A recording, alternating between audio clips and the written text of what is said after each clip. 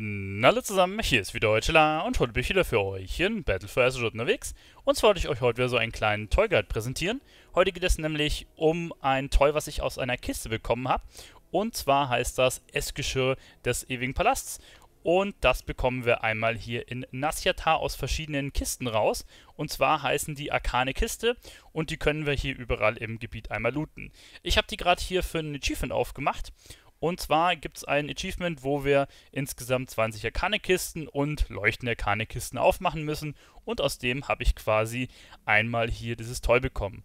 Meine Kiste war genau hier in der Ecke auf den Koordinaten 34, 40. Ich habe es aber jetzt gerade mal nachgelesen und zwar kann die in jeder Arkan-Kiste drin sein.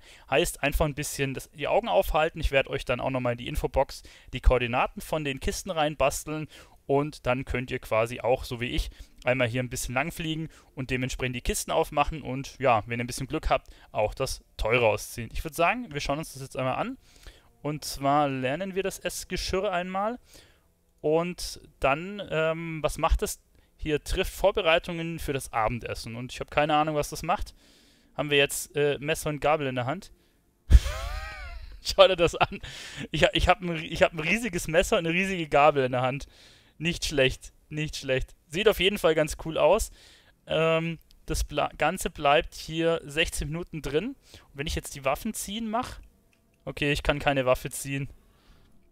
Das geht leider nicht. Okay, schade. Sieht aber, sieht aber nicht schlecht aus. Ja, das war's eigentlich auch schon wieder. Ich hoffe, dem einen oder anderen konnte ich weiterhelfen. Euer Telar. Bis zum nächsten Mal. Äh, ciao.